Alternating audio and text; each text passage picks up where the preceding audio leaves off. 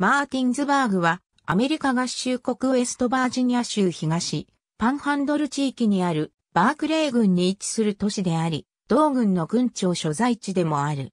2010年国勢調査での人口は17,227人であり、東パンハンドル地域では最大、ウェストバージニア州では第9位である。メリーランド州にまたがるヘイガーズタウンマーティンズバーグ、大都市圏における中核都市の一つである。2010年の都市圏人口は約26万人だった。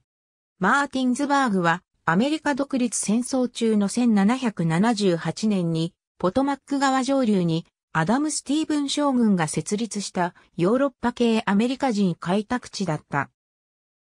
スティーブンはバージニア植民地の大土地所有者、第6代フェアファックス・オブ・カメロン卿、トマス・フェアファックスの甥、トマス・ブライアン・マーティンにちなんで町の名前を付けた。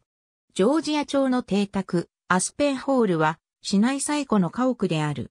その一部は1745年にエドワード・ビーソンが建てており、その住人が地域の農業、宗教、交通、政治の歴史に重要な役割を果たしてきた。フレンチインディアン戦争、アメリカ独立戦争、南北戦争に関連して重要な出来事がこの敷地で起こってきた。最初の3棟の建物が今も残っており、その中にはメンデンホールの砦の珍しい商用祭もある。こういった影響もあり、民主党の影響力が強い地域としても知られる。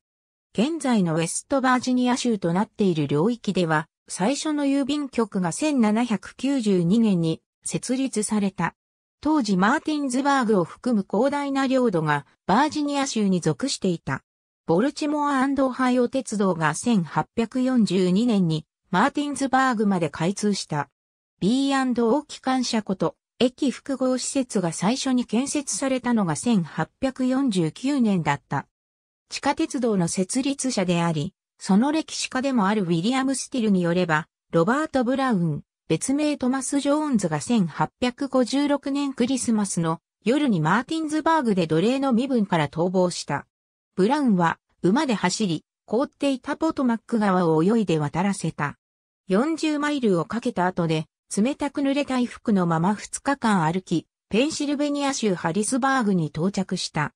そこからは地下鉄道の支援を受け、列車でフィラデルフィアに行って、ペンシルベニアファンドレー制度協会のウィリアム・スティルの事務所に行った。ブラウンの妻と4人の子供たちは売り払われた。ブラウンは家族を見つける手伝いを求めた。妻の似顔絵を持っており、また家族それぞれの紙の房も持っていた。1854年、10歳のイザベル・ボイド、通称ベルが家族と共にマーティンズバーグに移ってきた。彼女の父ベンジャミンが雑貨店を経営した。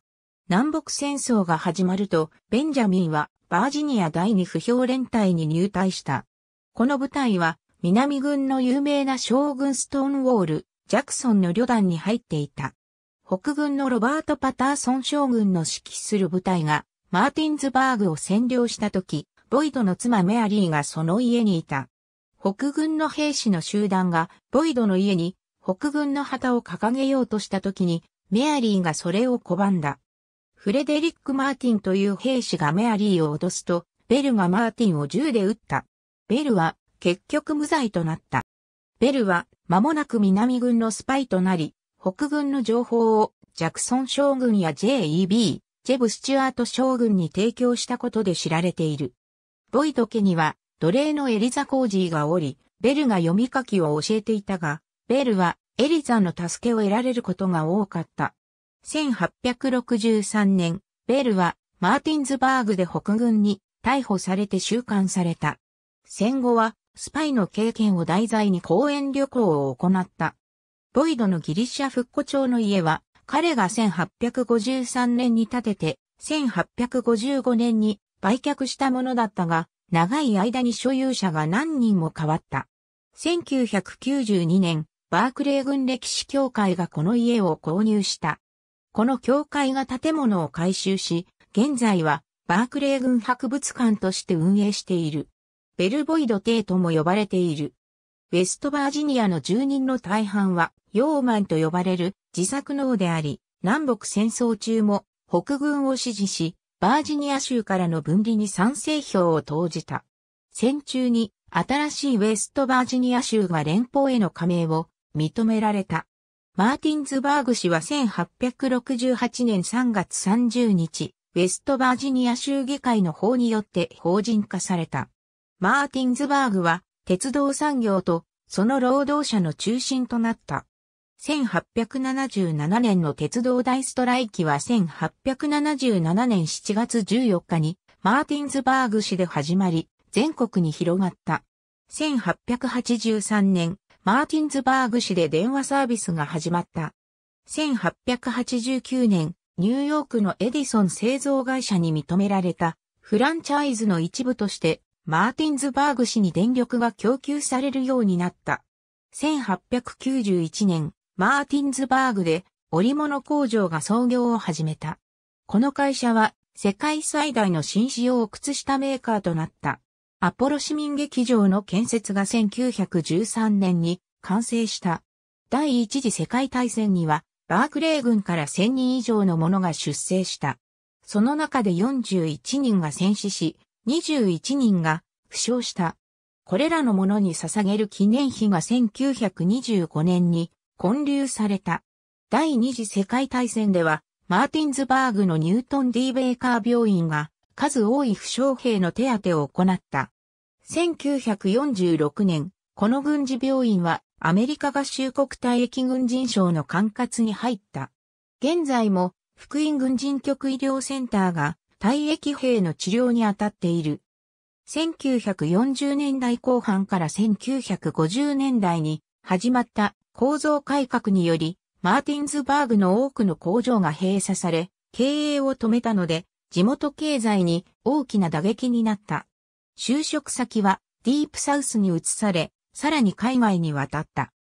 マーティンズバーグ氏は、北緯39度27分33秒整形77度58分4秒、北緯39.45917度整形77.96778度、39.45917-77.96778に位置している。マップクエストで見ると、ワシントン DC の北西、道路で約92マイルにある。アメリカ国道11号線が街の中心を通り、また、週間高速道路81号線が街の北側を通っている。アメリカ合衆国国勢調査局によれば、地域全面積は6.67平方マイルであり、このうち陸地6.65平方マイル、水域は0.02平方マイルで、水域率は0.29%である。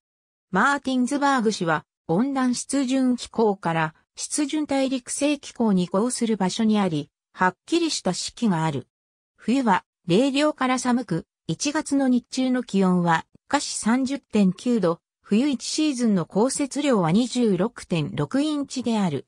夏は暑く湿気ており、7月の日中の気温は下肢74.7度、気温が下肢90度を超える日は年間27日ある。降水量はそこそこであり、冬は少なく5月から7月が多い。過去最高気温は1936年7月11日に下肢112度、過去最低気温は1994年1月21日の低く、下肢18度だった。以下は2010年の国勢調査による人口統計データである。以下は2000年の国勢調査による人口統計データである。マーティンズバーグ市と周辺での主要な民間雇用主としては、クアド、グラフィックス、エコラブ、オージル、メイシーズ、フェデックスがある。2015年2月、プロクターギャンブル社が市の近くに5億ドルをかけて施設を建設する計画を発表した。市内にはアメリカ合衆国内国際入庁、アメリカ沿岸警備隊捜査システムセンター、同ナショナルマリタイムセンター、アルコールタバコ、火器及び爆発物取締局、退役軍人管理センターなど、連邦政府機関である多くの雇用主もある。マーティンズバーグ IRS 施設は、内国際入庁の事業計算センターの一つである。マーティンズバーグの施設は、国内の企業から提出された税金の電子ファイルの大半を加工し、納税申告書の電子ファイルでは、その約3分の1を処理する。ウェストバージニア州空軍第167空輸部隊が東ウェストバージニア地域空港を本拠としている。1912年から1922年にはノーウォークと呼ばれた自動車会社があった。ここで組み立てられた自動車は州内で作られた自動車の中でも最長期間製造されたものだった。退役軍人医療センターを描いた絵はがきその他の小売業地区には以下のものがある。ボルチモアハイオ鉄道機関車庫と、駅複合施設、マーティンズバーグ駅は、イーストマーティン通り229にある。アムトラックのシカゴとワシントン間の夜行長距離列車、キャピトルリミテッド号が1日1往復停車する。その他メリーランド州の通勤鉄道であるマークが、ウィークデーにブランズウィック線を運行しており、当駅が終着駅である。ワシントン DC のユニオン駅に通じている。イースタンパンハンドル交通局、通称パントランが、市内とバークレー郡の周辺地域、ジェファーソン郡にバス便を運行している。東ウェストバージニア地域空港が市の南にあり、一般用途に供している。商業便のある最寄りの空港は、ヘーガーズタウン地域空港であり、市の中心から北に約25マイルにある。最寄りの国際空港は、ワシントン DC に近いワシントンダレス国際空港であり、市から東に車で約60マイルの位置にある。市内には AM ラジオが2局、FM ラジオが3局ある。マーティンズバーグはヘーガーズタウン小市場に属し、さらにニールセンの指定するワシントン DC ヘーガーズタウンテレビ市場に入る。国内では第9位の大きさである。マーティンズバーグがテレビの材料になったのは次のようなものだった。ありがとうございます。